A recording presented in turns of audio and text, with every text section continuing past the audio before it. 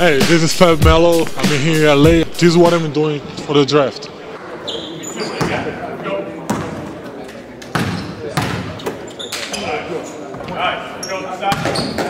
I'm a, seven foot tall. I'm a player that I'm very versatile for my height, and I, I have a jump shot, and I can move very well for my for my height. So that's the thing that's gonna make the difference in the next level.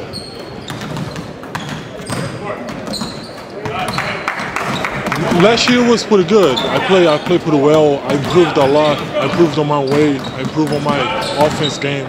That's the thing that made the difference. But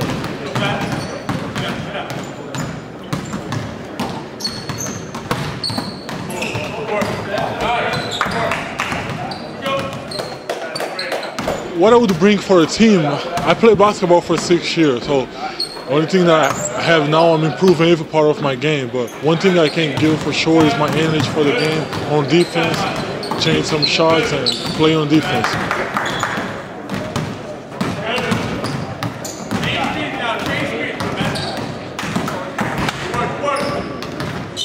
I didn't watch much basketball. i have been a soccer guy my whole life.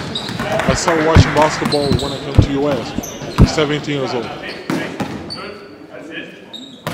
I like Andrew Bynum. I like how he plays style, and I like Dwight Howard.